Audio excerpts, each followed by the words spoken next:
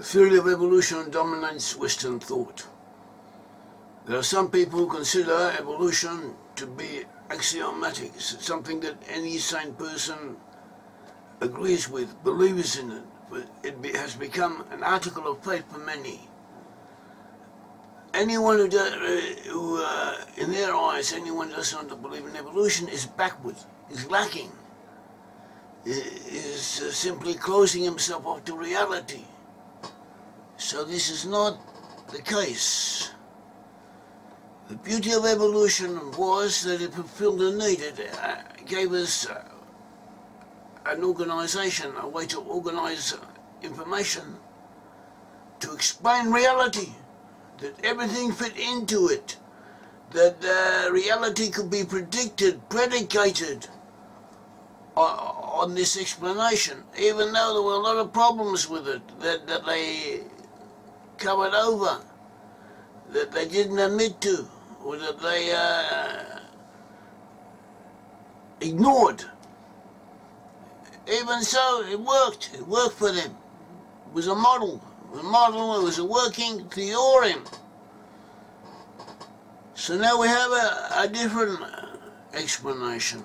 An explanation that's been proven, at least uh, to a, a greater than degree than evolution has, it has been proven in the laboratories.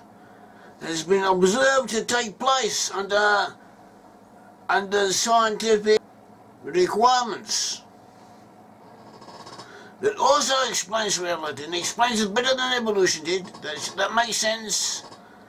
And that can be replicated, whereas evolution could not. We'll explain a little bit what we're talking about and get right into the subject. We, we give an example. We have fish. Fish. Herring. Herring is a fish. Herring is obtained in the North Atlantic, North Pacific. It is a tasty fish, Jews like herring often on bar mitzvahs, on uh, celebrations, or on uh, important uh, days.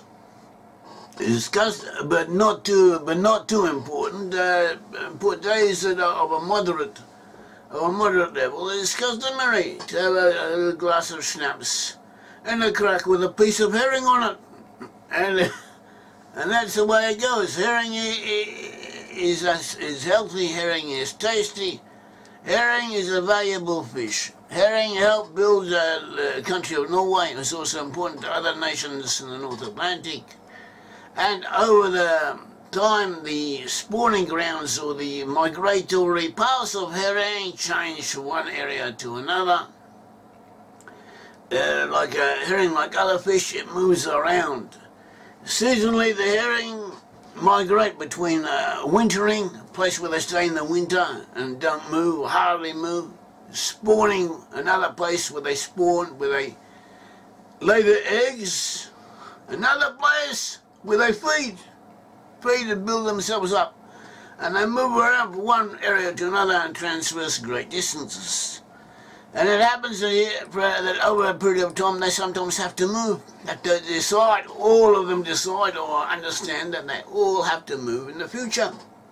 That the old places that they've been going to for tens of years, hundreds of years, I don't know for how long, forever and ever, now they can't go there anymore, they have to go somewhere else. And we're not certain why they move but so there are different explanations. Some say that the relative salinity of the ocean, sometimes the the, the degree of, of salt in the water changes. Sometimes the temperatures of the water changes. Sometimes the current, sometimes the currents, the uh, international currents change. Whatever the case is, herring sometimes change their pathways in the seas as do other other fish. So at one stage, herring in the North Atlantic decided to move a little bit further northward than they had previously done. But the new area that they had need of going to was colder than the previous one, and also the, the water was icy, there was ice in the water, and as they were then built, they wouldn't have been able to survive in the new environment. So what did they do? What did they do? They acquired an antifreeze gene from another breed of fish. In other words, there were already a certain type of fish. It's believed to be a kind of sea raven, uh, a certain type of fish that um, that had an antifreeze gene, and they um, somehow caused this other fish with the antifreeze gene to excrete this gene of his into the water, and the picked it up, and therefore was suited to move to the north. They picked up the antifreeze gene, and they were able to move to another climate, to another environment. And not only that, but later on they passed on this same gene to smelt a kind of sardine who also had need of it. So this is what we have. We have genes moving around. And how do the fish get this gene from each other? It's uh, through a horizontal gene, gene transfer. As we said, the fish with the gene, who already had the gene, received a biological message to excrete the gene into the water. The fish without the gene then picked it up, and it wasn't just one single pioneer doing this, it was all of them all together over a short period of time, affecting this transformation so that the whole breed, the whole millions of fish changed from one type to another in order to adapt themselves to the environmental requirements. And this uh, occurs in the, in the animal kingdom very often. It occurs between different species, sometimes even perhaps between species and plants, but it is a common occurrence. And the implications of this, in effect, in effect, they nullify the need for evolution. Evolutionary theory no longer is required. It is outdated, just superfluous, clumsy, unreliable, and incorrect. As we shall explain, horizontal gene transference is similar to what happens in our time with with GMOs, with GMOs. What are GMOs? Genetically modified organisms. This is a modern development where, for instance, uh, they play around with the genes. Uh, you might have a, a, a tomato. You have tomatoes. Tomatoes naturally grow and ripen and they uh, look red. Well, most of them look red, some of them don't. Some of them might look a little bit green but they taste the same as the red ones. But nevertheless, the housewives and the, and the customers don't want to buy the green tomatoes. They want to only buy the red ones. So what do the, G, the MGO people do? They find another plant, such as a, a red berry, which is a very red colour, and they isolated the gene that gives this berry this red colour, and somehow they grabbed it onto the tomato. And henceforth the tomato uh, can be relied upon to grow all reddish and saleable and attractive to the people who want to buy it. And this happens uh, today. This happens all the time. People don't like it. People are afraid of it. They are afraid that this playing around the genes can somehow have adverse effects on human beings, and it might have. It might do, but nevertheless you cannot stand up to market pressures. This is what is needed, this is what is done. And uh, genetically modified organisms are quite common.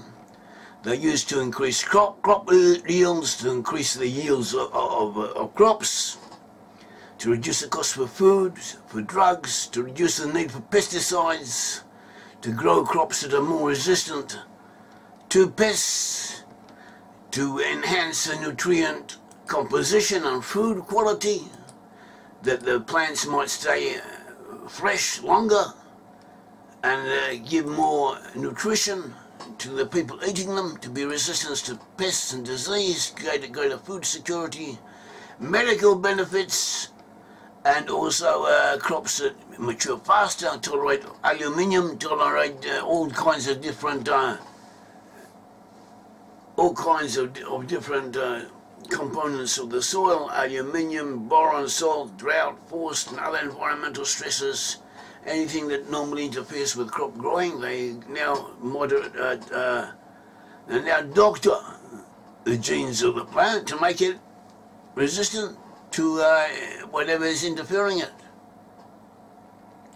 And uh, so too, Salmon, salmon have been uh, modified to grow larger, to be more resistant to disease, and uh, so, so, the same with cattle, and uh, the, the list is growing.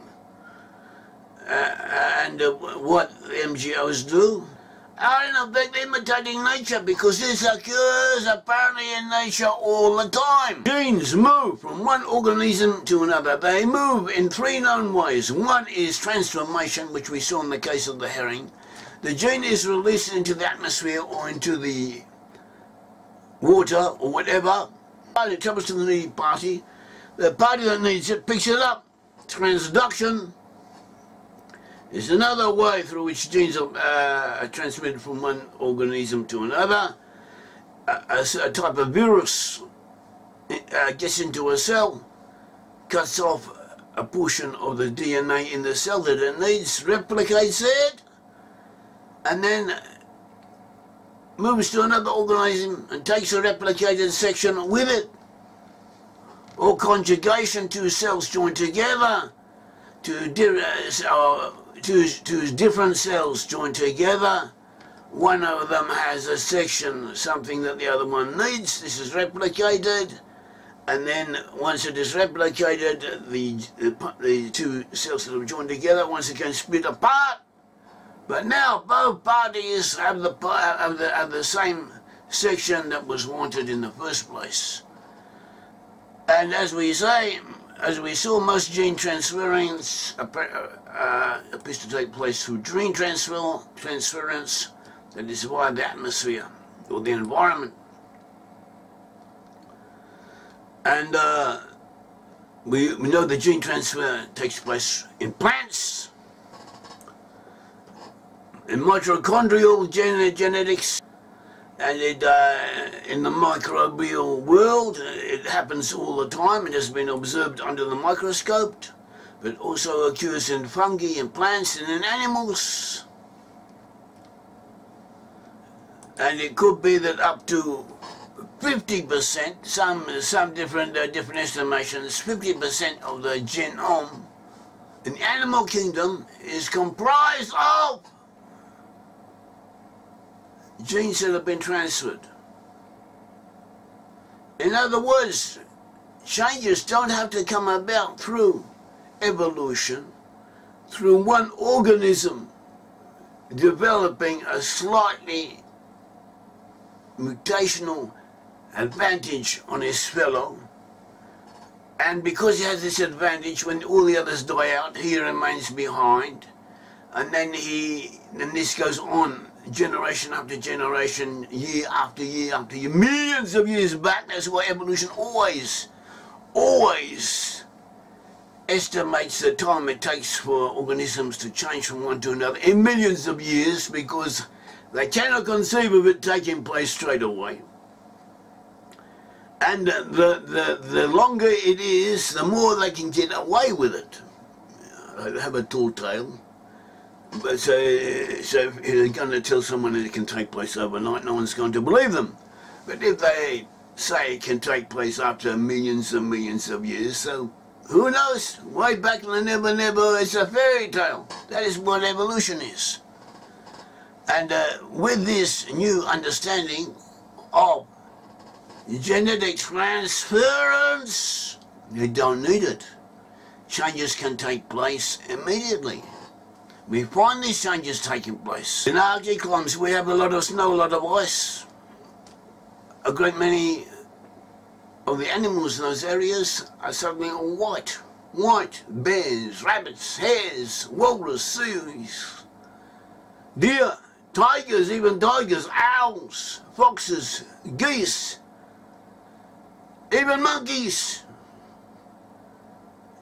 You find monkeys with blonde hair and blue eyes in cold climates.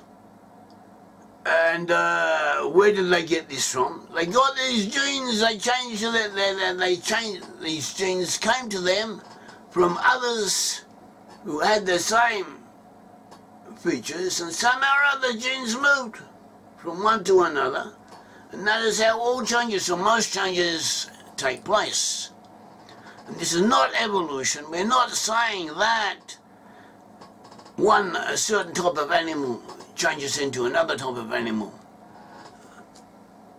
A butterfly is not going to become a budgerigar, but a black budgerigar that needs to become white because of the changes in its, in its need to camouflage itself in a new environment could do so could do so by acquiring a white gene from somewhere else and once this uh, gene is acquired it can transfer it through heredity and that is how all changes seem to take place. This explains a lot, it explains everything. And it happens, it is observed that the Almighty, when He created animals, when He created the animal kingdom, He placed within the animals, within the plants, within His creatures, the ability to adapt, to adapt in the same way as they uh, otherwise adapt. If it's cold, then they develop resistance to cold. It's hot, and they develop ways to thrive under hot conditions. And they pass these advantages onto their offspring. And it may be that if they move from one area to another, they may or may not be able to affect changes in themselves, but the option exists. The option can exist under certain conditions for whole populations to undergo the required changes. And what is the pertinence for us? For our theories, for our understanding of history, we found through the Bible, through the Bible, through the sages, through commentaries on the Bible, through our understanding of the Hebrew language, we found that the Bible predicted that lost tribes would be amongst Western peoples. We also found through history, legends, and numerous fields of study that the lost tribes had. They had moved from the Middle East, and they'd gone to Western Europe. And that therefore they were the blood brothers, the next of kin to the Jews. And we have uh, strong proofs about this. But we constantly came up uh, against the barrier of DNA. People would ask us, why is there not a DNA similarity between them? And we didn't really have an answer until now, but now we do have. The DNA changes according to environment, and the changes take place very quickly over a short period of time. The changes take place according to environmental requirements. And that is all we need. We don't need to have to prove that it took place, though it did, and uh, more study may tell us when and how. But it is enough for the time being to show that it is scientifically feasible, that it is an acceptable possibility. That, combined with the other proofs, is enough, or at least it is a step forward. And this, this is important to us.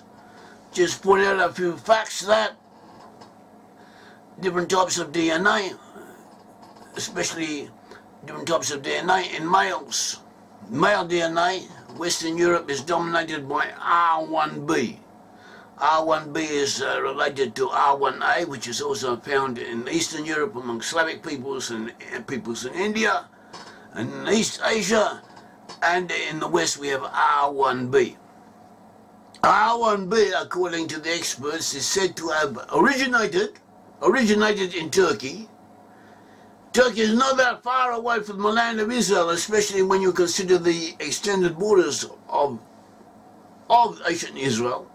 You still reach up into that region. And that is where R1b is said to have begun even though that is not dominant in that region, because there in Turkey we find the greatest number of variants and what was, appeared to be the, the oldest, the, the variants and the most early variations that is usually accepted to, to indicate the place of origination. That is where they say R1b began. And also when they find R1b groups that had R1b in that region, usually they find neighbouring areas, neighbouring groups with J. J and R1b are, are, uh, are partners, associates, historically. Even though, uh, even though they're quite different, otherwise. And J is considered a major group amongst the Jews. About one third of the Jews have J, J1 or J2. And also the Cohens, who are considered to be one of the uh, strongest elements amongst the Jewish population, up, up, up to 80% J1 and J2. And in ancient times, they were associated, they not they, the J1 type was associated with groups that had R1B. So they were neighbours to each other. And if changes were to take place, they would have been in the area uh, for them to do so.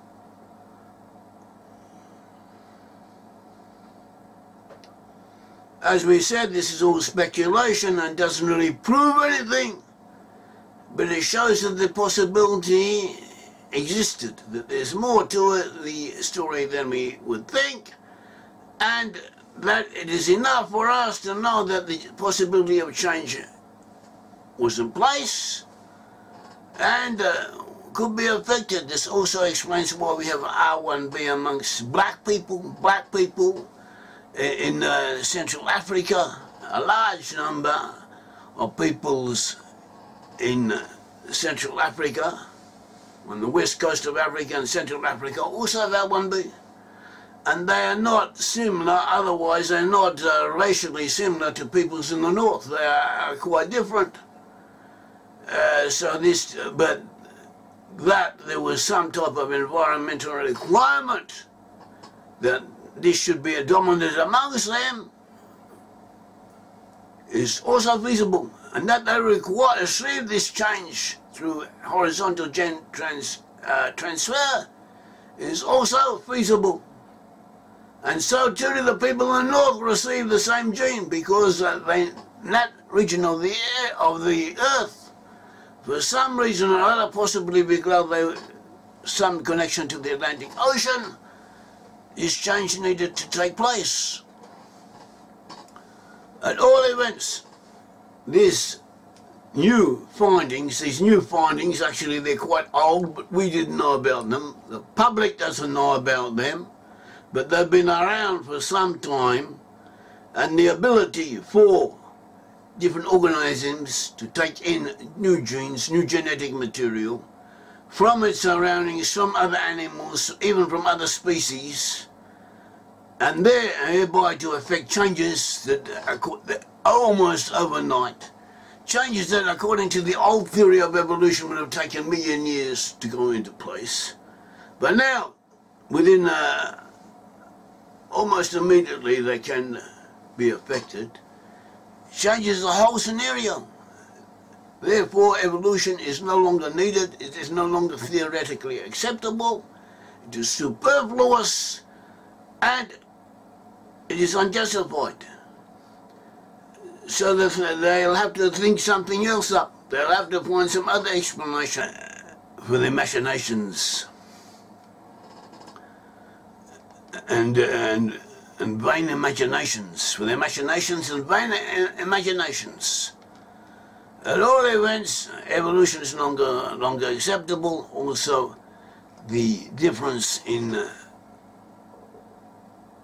in uh, DNA is no longer a barrier to there having been sanguinity between different groups from them originally having come from the same parent and uh, that is also something